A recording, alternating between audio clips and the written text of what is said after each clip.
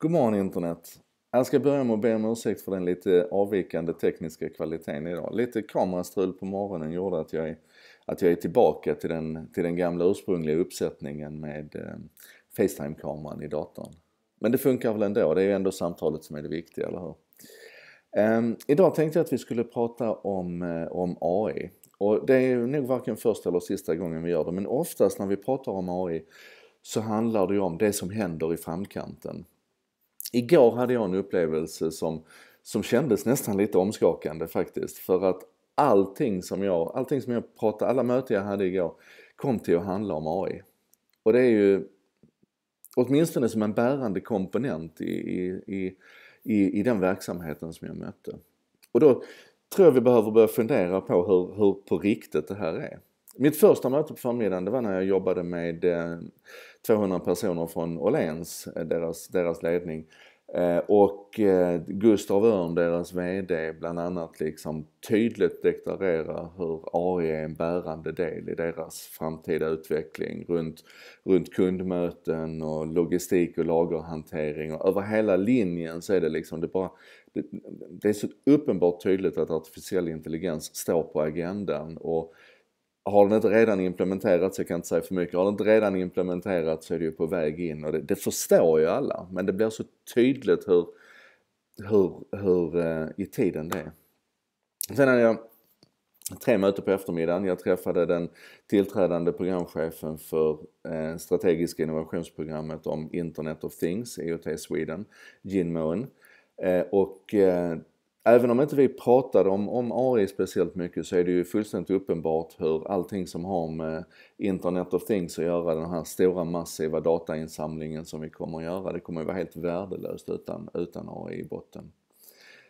Sen blev det tydligare och tydligare efterhand som dagen gick. Jag träffade Sam Nurmi, eh, superentreprenören som en gång i tiden startade Loopia och sen startade han Pingdom och nu har han då startat Doer som är en modern bokföringsbyrå. Och han pratar ju på riktigt om det här som att de ska göra för bokföringen vad, vad Musk har gjort för, för Tesla, alltså med, med självkörande.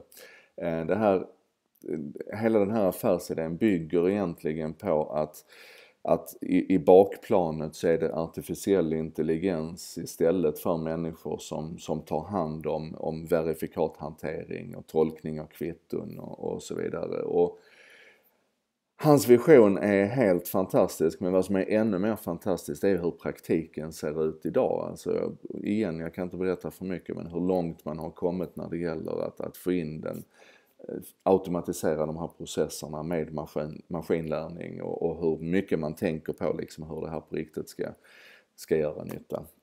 Det tredje mötet det var med eh, EQT Ventures, Olof Hanell. Och det här är ju en, en private equity firma, alltså en, en, investerare. Och en av de huvudsakliga uppgifterna för investerare det är ju att försöka hitta bra deals, alltså hitta företag som man kan investera i och hitta det tidigare än vad vad andra aktörer gör på marknaden. Eh, en annan bärande del är att kunna analysera marknaden och se vad finns det för hot emot de här företagen som vi eventuellt ska investera i och så vidare. Och igen, tyvärr kan jag inte berätta för mycket, men vi kan ju prata om det som redan är känt. Alltså går man till Breakit till exempel och söker på Dura eller Samnomit så hit, eller förlåt, eh, söker på EQT eh, eller Motherbrain ska ni söka på, Motherbrain ska ni söka på. Då hittar ni lite grann av det de har berättat öppet om det här och jag kan bara säga det är mindblowing när man tittar på det.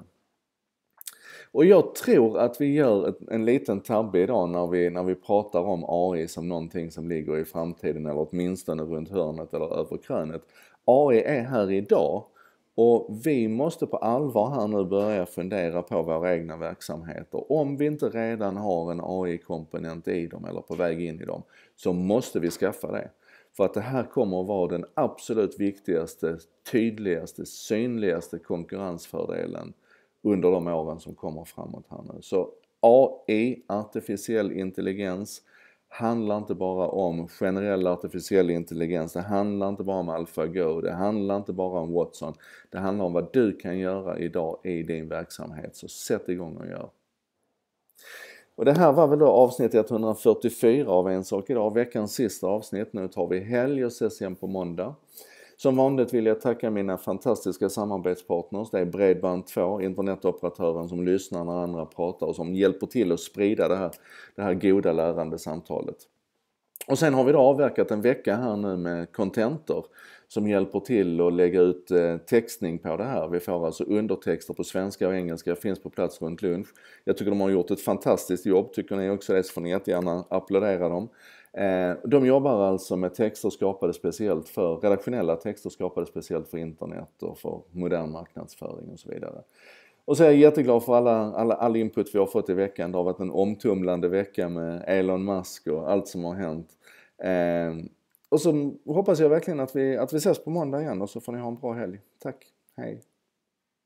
Eller jag kanske ska säga hej då internet. Så ska jag sluta. Jag börjar med godmorgon internet och så avslutar jag med hej då internet. Gör vi så från och med måndag.